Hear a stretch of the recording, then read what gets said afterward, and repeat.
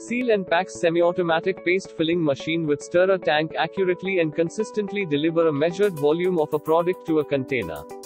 This machine is ideal for filling medium to high viscous paste such as mayonnaise, pickles, salsa which are not free-flowing and has pieces and chunks in it.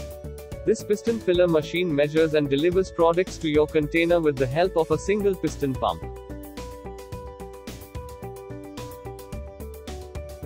A large tank with stirrer is provided with this machine in order to fill your products.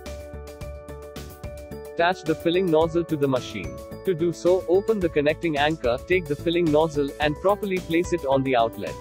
Then, tighten the filling nozzle by closing the connecting anchor. In order to operate this machine, it needs an air source to fill and discharge the product. So, the next step would be to connect the air source to the machine. Once that is done, we can attach the main power cable to the machine and turn on the green button. If the emergency switch is on, you can turn it off to start the operation. If you want to use the machine in auto mode, you can turn the switch towards auto. If you want to use it with pedal, then turn towards jog mode. Now the next step would be to pour your liquid or paste into the tank.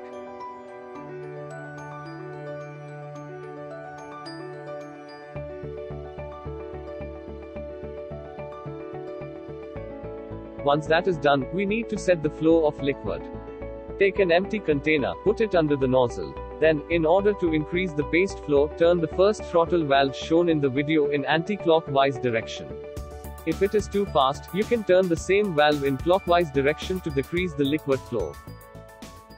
Once the flow consistency is set, you need to set the amount of liquid you want to fill inside your bottle. To do that turn the hand wheel to set the flow. You need to do trial and error a couple of times in order to set the correct amount. Now let's try to fill few containers in manual mode using pedal. Put the container under the filling nozzle and then press the pedal to discharge the liquid. You can continue this process until all your containers are filled.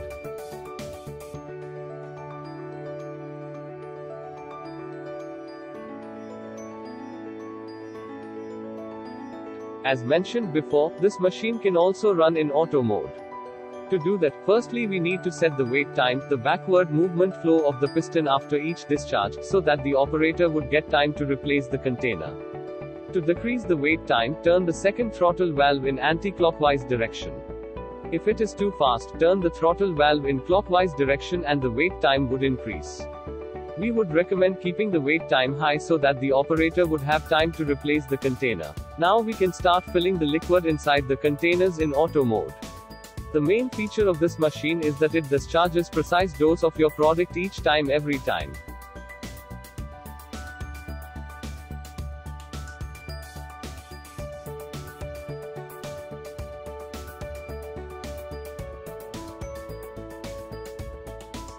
Before switching off the machine first you need to stop the airflow and then turn off the machine.